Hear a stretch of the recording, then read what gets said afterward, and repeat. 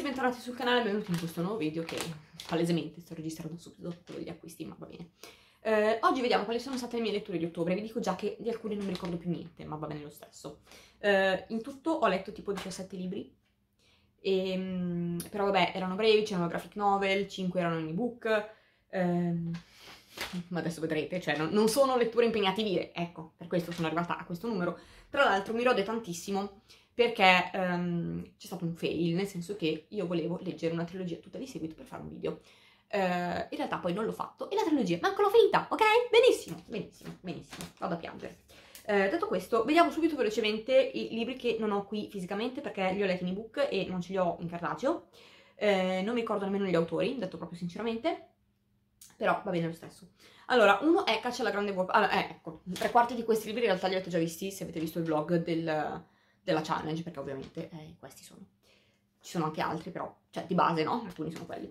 Allora, ho letto ovviamente Caccia la grande volpe di, mm, boh, non me lo ricordo, eh, che eh, parla di questa ragazzina disabile, perché ehm, ha una protesi alla, alla gamba, e che sostanzialmente decide di entrare in questo mm, show, mettiamola così, eh, per giovani maghi, inteso come illusionisti, ehm, perché c'è tutto un discorso di un trucco di suo padre che in teoria è stato rubato, però forse in realtà no, eh, e quindi così. Mm, non mi ha fatta impazzire, ci sono stati dei punti che ero tipo...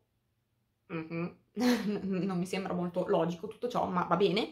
Eh, quindi non penso appunto che lo comprerò, che non lo trovo tipo a un euro, due, che dico vabbè ok. Eh, però se ci fosse un seguito penso che lo, lo leggerei, sempre preso magari su, su Mlol dalla biblioteca, insomma. Poi ho letto Rughe di Grossman, mi pare, che è una cosa piccola piccola, illustratissima, con quattro righe in tutto forse, eh, che parla di questo ragazzino che chiede al nonno eh, che cosa sono le rughe sostanzialmente, cosa sono quei segni facili, no? sono le rughe, sono legate a cose. Eh, è una storia molto tenera, molto dolce, questo mi piacerebbe averlo, dire il vero, sì, eh, però cioè, non lo comprerei nuovo, ecco. E poi eh, ho letto, anche questo non mi ricordo chi l'ha scritto, Il bambino, la talpa, la volpe e il cavallo, anche questa è una cosa sottilittissima, che parla di, di, amicizia fondamentalmente, di questo bambino con questi animali.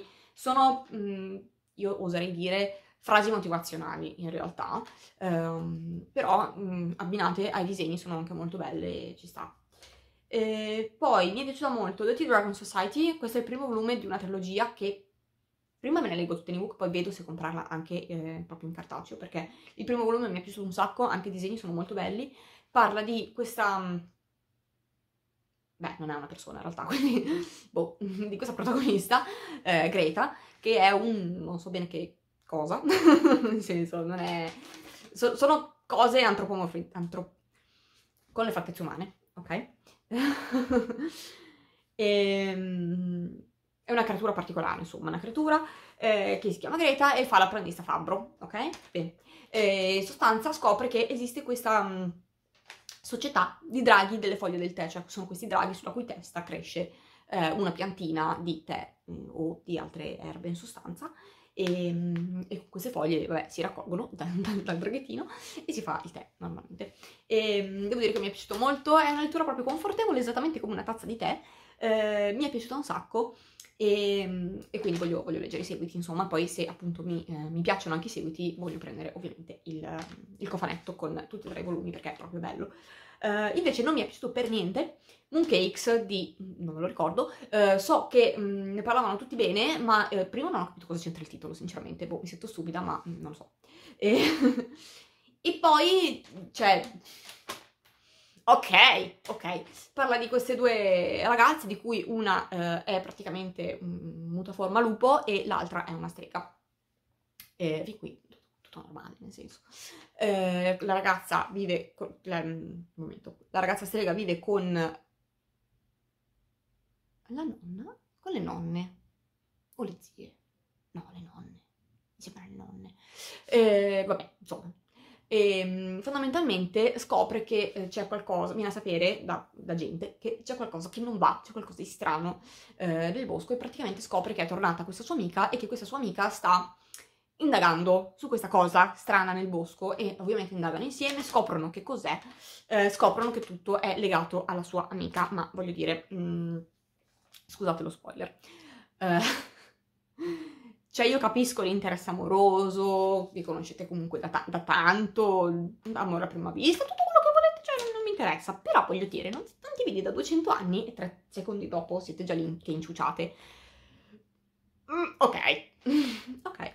E, e, poi, vabbè, eh, in un altro momento, mh, mm, appunto, quando si capisce che questa cosa qui è legata a quella ragazza, eh, no, mi raccomando, tu non ti preoccupare, ci pensiamo noi, tu stai nella tua stanza stanotte e non uscire, ti devi riprendere, ovviamente questa esce palese, banale, banana, banana e naturalmente eh, viene fregata malamente perché logicamente no, eh, cioè sei prevedibile come il fatto che se apri il rubinetto esce l'acqua. Cioè, vabbè, vabbè, vabbè non... vabbè, ho risparmiato soldi per carità perché questo lo volevo comprare ma per fortuna non l'ho fatto. Passiamo invece adesso, eh, dopo 256 anni, um, faccio così perché sto guardando il timer sopra, vabbè. E passiamo adesso alle letture cartacee che non vi mostrerò in ordine di lettura ma eh, le ho raggruppate per, per, cose. Eh, le prime tre sono in realtà due graphic novel e una no, però facciamo finta di sì e sono collegati in questo modo. allora, questo qui è Literary Witches, che è, vabbè, in realtà la guida ai tarocchi, gli oracoli, là, che cos'è quel mazzo di carte che ho letterario. E ehm, in ogni pagina c'è in sostanza la spiegazione della vita della, della persona, dell'autrice, eh, eventuali opere importanti e qui, mh, se non ho capito male, eh, più o meno a cosa è collegata la sua carta fondamentalmente, ehm, cose legate comunque alla sua vita e anche cose un po', diciamo, oniriche, roba del genere eh, che ne spiegano un po' il significato anche dei disegni che ci sono sulla carta stessa, no? Tipo questa chi è? Chi sei? Sandra Cisneros, ok, io tre quarti non le conoscevo, dico la verità, però va bene. Eh, è, vabbè, è quello che è, voglio dire, è una guida alle carte fondamentalmente, no? Però nel, nel complesso è interessante, non mi ha fatto impazzire, ma nel complesso è interessante. Adesso la vera domanda è io dove lo poso? Lo poserò qui. Eh, poi, sempre legato a quello, perché di fatto è la vita dell'autore, di Alberto Madrigal, Pigiama Computer Biscotti, che parla di come è cambiata la sua vita fondamentalmente da quando è arrivata la creaturina. E io mi sono tanto rivista in lui perché ovviamente eh, queste piccole creature sono belle, sono dolciotte, ma ti eh, stravolgono la vita. E io vorrei che questo lo leggessi anche Joe, perché ovviamente essendo il punto di vista di un padre, magari forse potrebbe tornargli utile, no? Eh, però mi è, mi è, piaciuto tanto, quindi ringrazio Pami che me l'ha consigliato e sono stata contenta di averlo accattato perché ci sta tutto. Eh, è tutto ovviamente in, in, scala di grigi così, però eh, ci sta. Eh, ci sta, chiaramente, italiano, eh, ci sta. Eh, rimanendo sempre il tema Bao e graphic novel, questa volta sono tre racconti eh, che si rifanno alla mm, leggenda o mitologia giapponese. Eh, da non aprire mai di Ken Niimura e questo mi è piaciuto un sacco. Um, sono appunto tre racconti, come ho detto, e, mm, e mi sono piaciuti. Boh, cos'altro posso dire? Ve li racconto tutti, ma sono brevi, quindi non ha senso. Eh, però vi faccio vedere il tratto e vabbè, ecco, il tratto forse è un po'... Mm, eh, vabbè sul tratto si poteva fare anche un pochino meglio, probabilmente. Però, però vedete che poi quando c'è il momento clou spara, spara fuori questo rosso e, e così. La seconda mi ha fatto un sacco ridere, come vi ho detto anche nel vlog, perché erano buffissimi quei due col ventaglio. E la terza veramente è tenerissima. La prima, ecco, la prima mi sembrava un po' scontata all'inizio, però poi c'è stato quel twist no? Verso la fine che me ne ha fatto apprezzare invece abbastanza parecchio, abbastanza parecchio, in italiano proprio. Ehm, e, niente. Uh, le altre due invece mi sono piaciute proprio subito, quindi ottimo così. La cosa assurda è che questo qui è... Ah, ok, il disegnatore di Kill Giants. Non... Ok, ok. No, perché stavo dicendo, ma Kill Giants mi sembra che sia quello della ragazzina, che però non mi era piaciuto. Però, cioè... Ok. Vabbè. No, stavo dicendo, com'è possibile che quel libro non mi sia piaciuto e questo invece mi è piaciuto un sacco, perché questo invece prende storie popolari, ok. Vabbè. Poi eh, rimaniamo sempre nel, nell'ambito delle, dei libri illustrati, mettiamola così, ma passiamo proprio ai libri e qui ho letto il seguito di Tilly, ehm, con il secondo volume, Tilly e le storie da salvare, e il terzo volume, Tilly e le pagine dimenticate di Anna Jane, entrambi ovviamente. Eh, e quindi questi sono illustrati. Adesso, adesso, ovviamente quando dici sono illustrati non sbuca fuori manco un disegno neanche se lo paghi, ok? Um, nel primo volume erano successe cose, tali per cui c'è stato un po' di scompiglio alla sottobiblioteca, eh, e adesso ci sono in arrivo grossi cambiamenti che però Tilly non gradisce particolarmente, quindi con Oscar cerca un po' di capire che cavolo sta succedendo eh, si scoprono cose, naturalmente, e eh, nel terzo in particolare c'è una specie di caccia al tesoro che eh, mi è piaciuta molto come idea, come cosa. E vabbè, non posso dirvi tanto perché sennò rischio veramente di farvi spoiler sia su questi volumi che sul primo, quindi eh, mi taccio.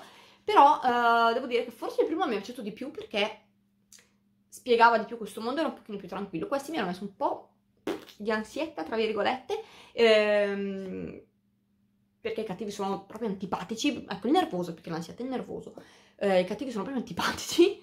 E, ehm, e niente, eh, li ho trovati anche un pochino lenti come introduzione alla storia, ma forse è stato un problema mio in realtà. Uh, poi invece alla fine, ecco tipo questo qui, ho fatto un po' fatica a arrivare alla metà, la, la, seconda metà me la sono sparata tutta in una sera, che Minerva dormiva, cioè è andata a dormire presto, quindi me la sono sparata tutta. Questa anche mi è piaciuta molto di più, eh, in una parte piuttosto che in un'altra, però vabbè questo penso che sia normale nelle storie, no? non è che sono tutti pari merito come, come livello delle cose. Io continuo a darvi le spalle perché sto appoggiando i libri là dietro, ma va bene. Eh, rimanendo sempre in tema di librerie e magie, la libreria magica di Poppy di Mindy Thompson, che mi è piaciuto un sacco, anche questo, peraltro sono tutti e tre della Garzanti tutti e tre della collana Libri Belli, perfetto.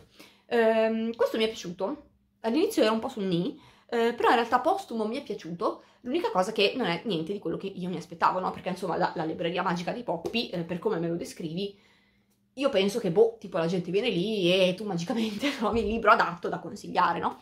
Eh, in realtà forse in parte è anche così, però non è questo l'ambito che viene sviluppato, cioè non chi se ne frega, no? in realtà è tutto un discorso basato sul fratello e l'amico del fratello che purtroppo muore in guerra eh, e quindi c'è una specie di, se così vogliamo, patto col diavolo, tra virgolette, no? Eh, più che altro un patto con l'oscurità. E, e, la libreria che cerca invece di mantenere questa oscurità un po' fuori, tipo vai via, vai via tu togli la magia, sei brutta, fai schifo, togliti. Eh, e invece però ci sono cose che non quagliano e questa oscurità piano piano inizia proprio a essere molto ingombrante eh, e la ragazzina ha non si sa per quale motivo, ehm, cioè si scopre, no? Eh, ha questo legame particolare con questa libreria e, ehm, e niente. cioè io mi aspettavo appunto discorsi di libri, non discorsi di guerre, ma va bene lo stesso. diciamo, quel, quel, punto di vista lì mi è un po'... però in realtà è molto bello, molto carino, molto tenero, tanto carino coccolino, quindi sono contenta comunque di averlo letto e di averlo cartaceo, perché insomma è proprio bello. Uh, poi, sempre su libri che parlano di libri, ma ci spostiamo nella zona libri con la copertina gialla. Questo giro va così libri con la copertina gialla um, di David Levitan, Answers in the Pages. Questo è un libro uh, che praticamente uh, si sviluppa su tre fronti, mettiamola così, uh, che ovviamente sono collegati fra di loro, um, in un certo senso anche un po' prevedibili da un certo punto di vista, no? Però vabbè, non, nel senso si, si, capisce poi verso la fine e vabbè. Ehm, praticamente c'è questa scuola e l'insegnante propone ai ragazzini di leggere un, un certo libro. Solo che eh, la madre di uno di questi ragazzini inizia a rompere i maroni a dire no, non si può leggere questo libro qui perché ci sono cose che non mi piacciono. Non si sa bene che cosa, cioè cose che si fa lei nella testa perché non esistono, non ci sono, non è previsto. Ma anche se fosse previsto chi se ne frega perché, mm, cioè, no. e, ehm, e, quindi inizia a rompere le balle a scuola eh, per dire no, dovete togliere questo libro. Um, una delle tre storie è di fatti quella del libro, no? Che praticamente ci porta a capire che la madre è un imbecille. ma va bene. ma va bene.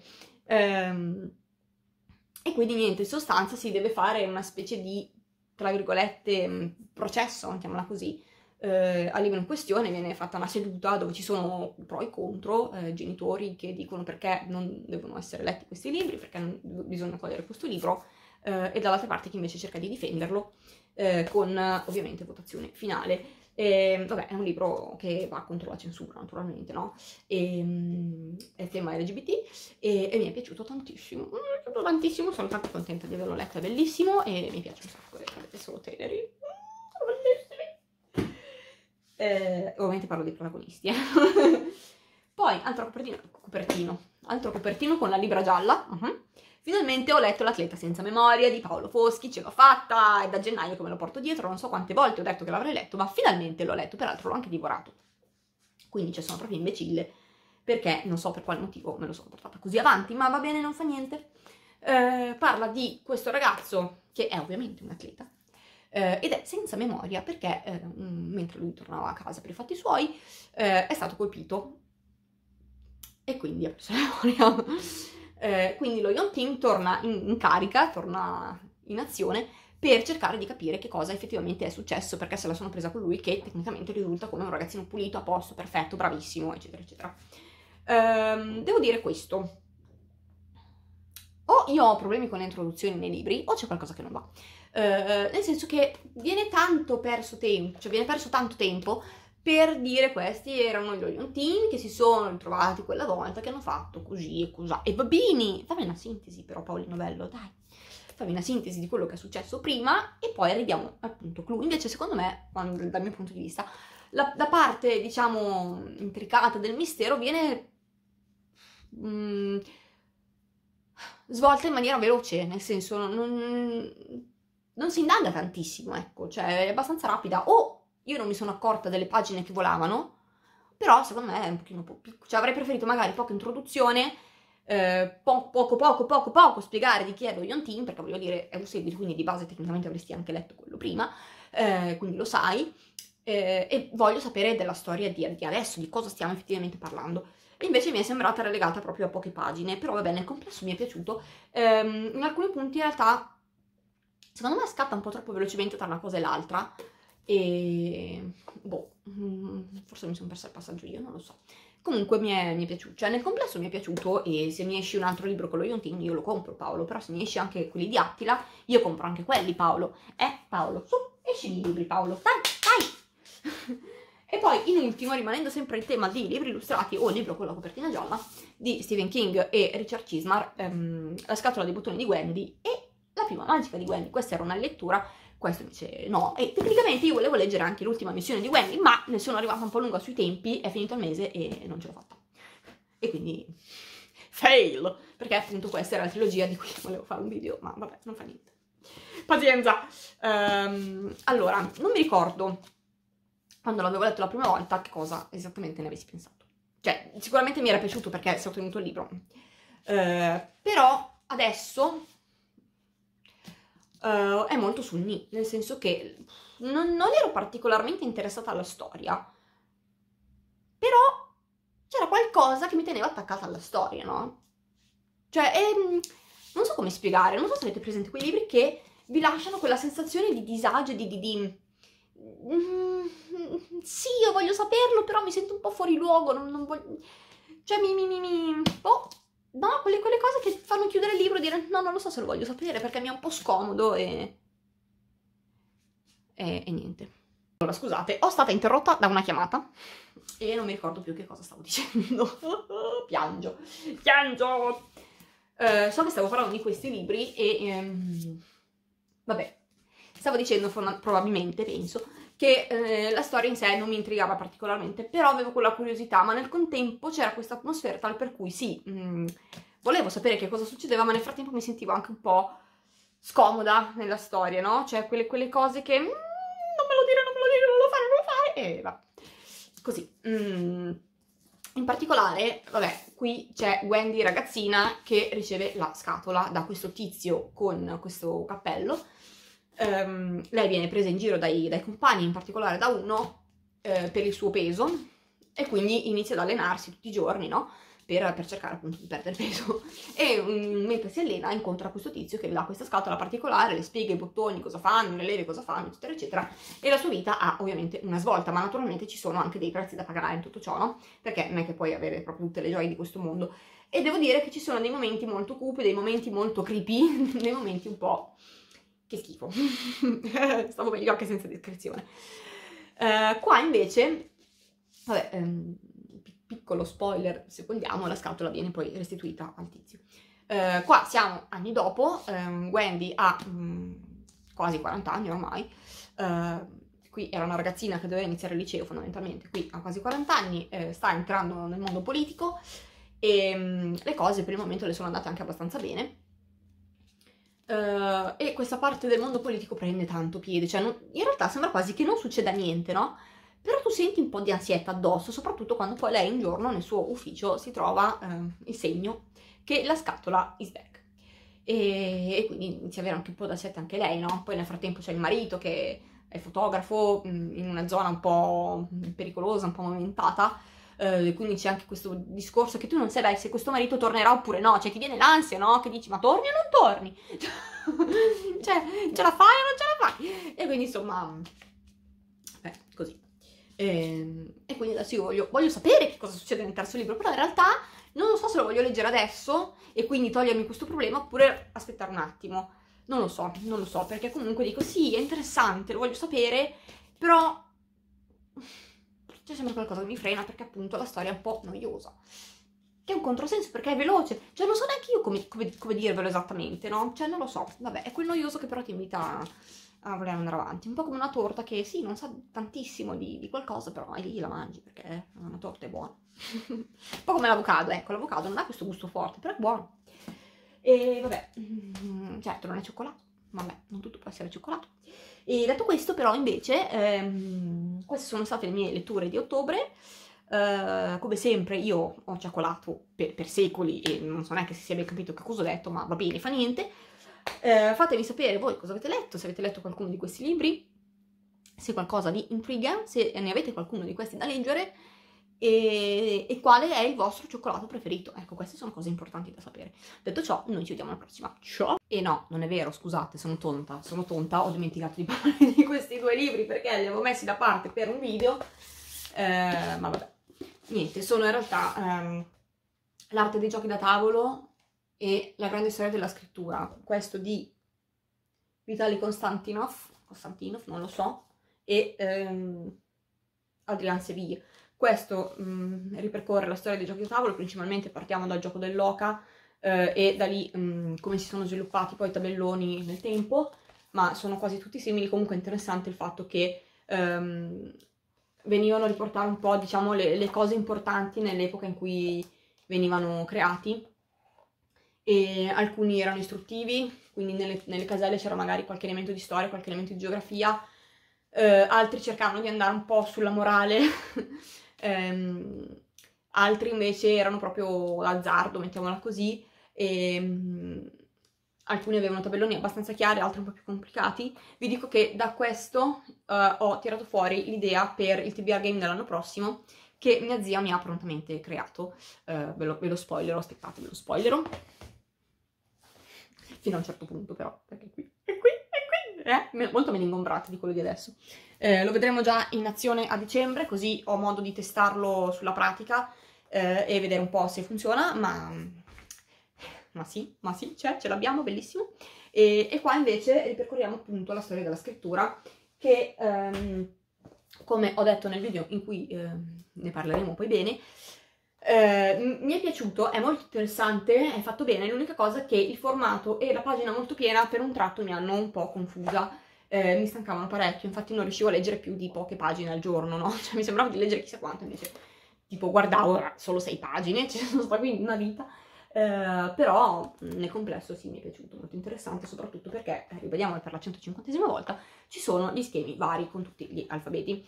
Eh, e niente, questo è davvero tutto e basta. Aspetto le vostre info sul cioccolato. Ciao!